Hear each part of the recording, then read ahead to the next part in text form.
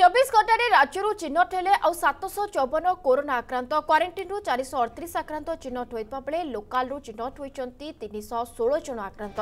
আজর সাতশ চৌবন আক্রান্তক মিশাই রাজ্যের মোট আক্রান্তক সংখ্যা দশ লক্ষ নয় হাজার দুইশহকু বৃদ্ধি পাইছে আজ খোর্ধার সর্বাধিক দুইশ একষট্টি আক্রান্ত